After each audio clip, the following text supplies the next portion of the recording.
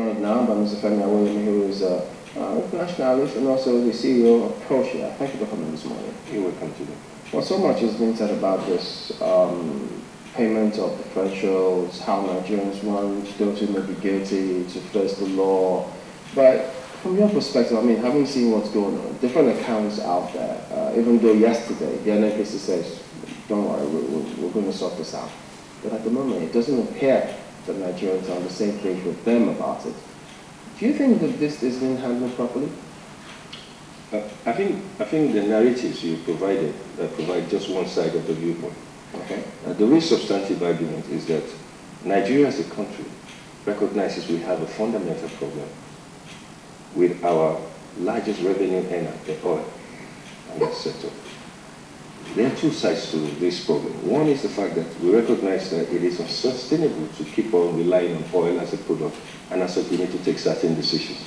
The second side, and perhaps a much more emotive one, is the one that relates to the fact that the management of the oil and gas sector over the time, even with what it was doing, has never been forthright. And to really find out that there is so much level of sleaze within the administration, becomes a much more simpler issue. Some symptoms of of, um, I mean, some effects of uh, uh, from this list are what you see in terms of the fuel subsidy program, are what you see in terms of contracts. And they make the newspaper this morning brings us much more. And it's so much more because the system over some time had been structured in a manner that does not perhaps promote transparency and accountability. And what is happening really is that we're able to learn about this because of the approach towards fiscal responsibility in the government which I believe is, well, like I was saying before, expresses itself in the way we manage our budgets and the larger discussion going on. But if we were to go back to the first subsidy issue, it's really a stain on the economy. The substantial amount of money that could have been used for major economic development is being filtered away. And if you look at the outcomes of the Aig-Imoukhuede-led uh, uh, committee, yeah. uh, which uh, in some ways is an improvement on what was, what was released in the House, uh, we should discount for all the controversies, represents how did money move out of the system, get paid for, only for us to discover much more later. There's a larger fundamental question as to how the public service goes. Uh, you had people in the program discuss uh, multilateral agencies, duplication of services. Within the petroleum sector, it's a huge um, bundle of agencies, association in itself creates room for what we've seen. So, uh, looking at the oil industry, what would you say? Streamline or reduce the number of agencies? Would that make a difference? I, I think I, I, come from a demand side uh, uh, philosophy. That says that look, we have no business managing this. We should do what Brazil has done. We should just float it as a private entity on the stock exchange.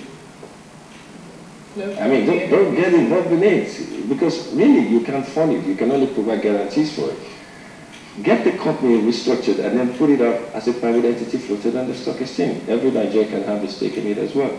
I mean, the argument has been made that you're better off even floating the whole oil sector on the stock exchange because you are most unlikely to go damage somewhere where your investment is in.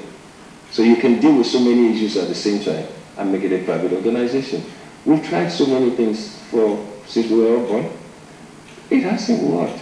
So why don't we try what is working, which is more contemporary? Again, look at the argument. Europe, USA, Asia, they're all moving towards renewable energy, alternative sources of energy. There's less emphasis on this oil. We've got into a situation that as a country, we've narrowed down all our thinking into oil. And it's a reflection of how we all grew up. And the economy we, we understood. But the economy is changing. In the last two, three years, we have more money coming from the non-oil sectors. The oil accounts for 80% of our revenue, but guess what? It contributes to less than 20% of our GDP. We focus on that. There's a disconnect. And again, it is unsustainable. So I get the argument that this desire for bloodletting is a natural reaction for people who have suffered over time. But at some time we will have to stop the argument and move on into more serious discussion. But then, again, the reason why the argument refuses to go away perhaps could be attributed to what you call the trust deficit in government. Would government go ahead and actually probe? Would there be sanctions on it? Well, if the sanctions are, what would happen thereafter? I mean, these are discussions that are being had, and I think they're legitimate discussions. However, we have to step back and look at the country called Nigeria has a much more positive side than we give credit to. If you look around here and you travel across, have you seen the stream of foreigners coming into the country? Have you seen the rate at which foreigners stay in our hotels? They wouldn't come if there was nothing viable in the economy. So in spite of all the uh, Exactly. negative commentary, still very attractive economically. JP Morgan just included the debt of Nigeria under the, the, the, the, the, uh, the, the, the bond uh, index which they created for emerging markets. And do you know what that means? That is significant, hugely significant. What it does was, I mean, it's about a three-stage process which we started in October. What it does for you is that it immediately drops the cost of borrowing for your government because it tells you that foreigners and local people, there's a huge investors demand. It drops the cost of borrowing for this government. What it also does is that if you look at the bond market in Nigeria, government has been issuing treasury bills all the time, it's about 90%. That means the only person where money in, the, in the economy is going to is to government. I mean, look at the logic. We do a budget, you spend, but who do you borrow the money to back again? It's government. So the whole business we're doing in this country is a business of government. Hmm. But so what it does is that the banks, therefore, are able to release much more money because they have less of their money to give to government again, and then fund the private sector. And you look at it, one single decision. And what led to that decision? Most likely, the increase in external reserves. As of 2007, external reserve was about 60 billion. But it dropped, but it's further climbed up back to 42 billion as at end of last month. What that does is it gives investors confidence in your economy. And then once they come in, they play. If you doubt the role foreign investment play, go check the foreign direct investment, money sent in by Nigerians in diaspora. Go check your equities market, which 60 to 65% is dominated by foreigners. Me and you can still yet get back into the capital market because we still feel bonds, and so we have investors coming. But guess what? The foreign investor confidence on Nigeria as a sovereign brand from foreign is right there as the best it has. America got downgraded. European countries got downgraded. Nigeria got upgraded in the same economic time zone. And yet we focus on In spite of all this, let's take a look at this, if you will, briefly, albeit, uh, uh, the confidence that the people have got in government to do the right things, because oil is at the center of everything. It's at the center of the budget, uh, the fuel scarcity people are experiencing, and now we've got this in our hands, the arrest, uh, prosecution of uh, defaulters in the oil industry. Government actually thinks that, well, we should thumb them up, applaud them, because they're doing the right things, uh, prosecuting, uh, they've got a list here. Capital Oil, uh, River Energy, Alumina, and so on and so forth. They're quite an impressive list. Of some of those lists, there are quoted companies also there as well. And listen, um,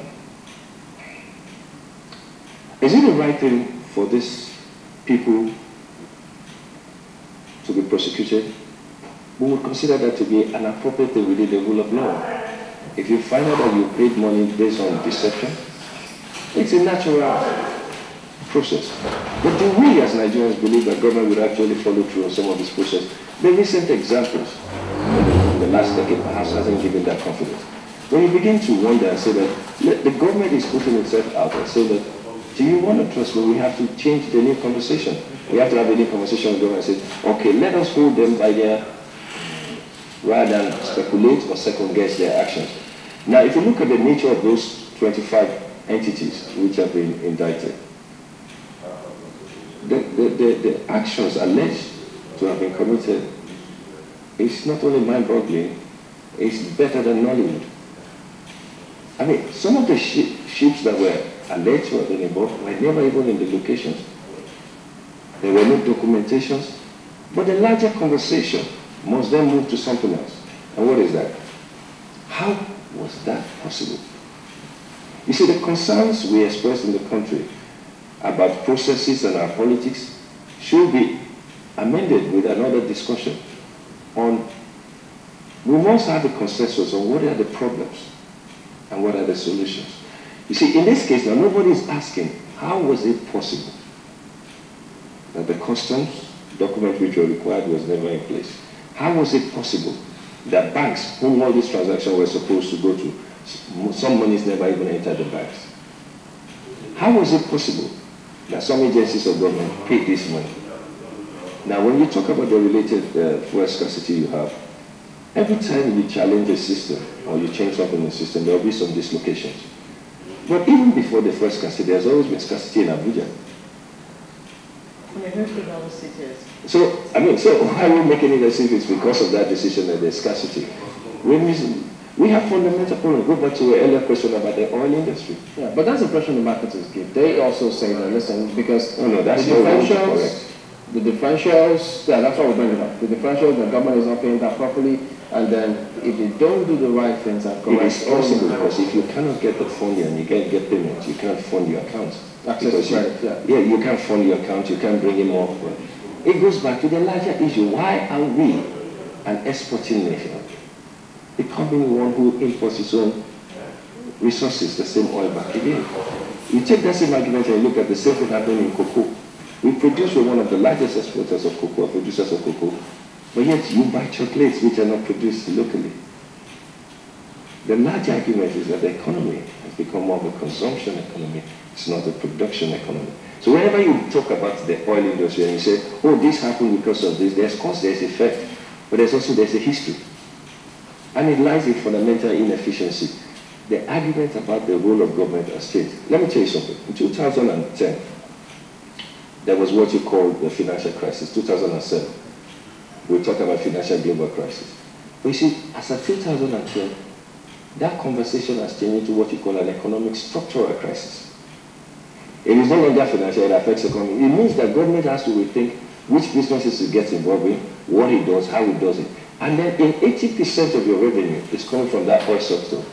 I think we must reconstruct the conversation away from the petty pocket money missing. Or that does not in any way, however, ignore the fact that what happened with the fuel subsidy is a, is a, is a major learning point for which we should develop even case studies and teach children yet to be born. That how could a country allow such to do? So would they prosecute them? No, well, they should have their case in court. And then maybe we might learn more. Do you think government is on the same page, uh, or will be eventually, I beg your pardon, the National Assembly with the government this time about this oil benchmark? Because they talked about the fact that, look at the MTEF, uh, they have a problem with it. They talk about the $75 per barrel benchmark. They've got a problem with it. They don't see why it should be at that rate. And so now a dagger's drawn there. And then they talk about the implementation of the 2012 budget, saying, well, if it's about 30%, but then you're coming up with the 2013 budget. They, they can't reconcile that. You see, let us break it down to the bread and butter conversation that everyone can understand. Is the argument going on warranted? Eh? Most certainly. Is the discussion healthy? Very well.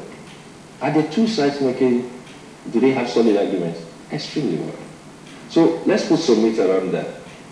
The argument around 75 is not a game of numbers. Let me give you this analogy to explain the real economic issues. If you go to doctors and they give you antibiotics, they tell you that you must make sure you finish your dosage, even when you get better, much quicker.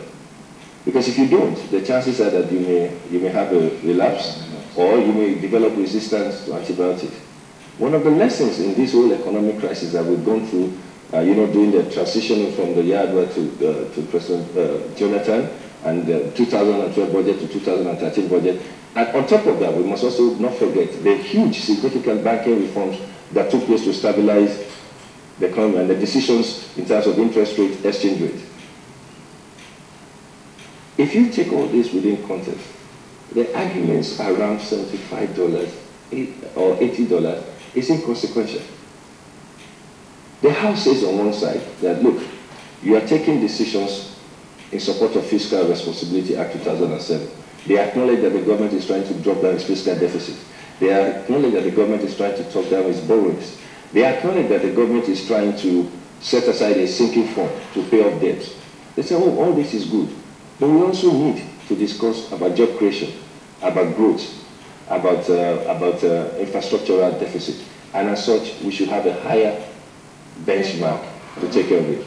Don't forget that this budget, just like last year, is based around the fiscal deficit, right? The Minister of Finance on his other side is saying, okay, hold on, gentlemen, the volatility of the market, we may even discount the 2008 um, timeline that they gave us and say that's too, too far away.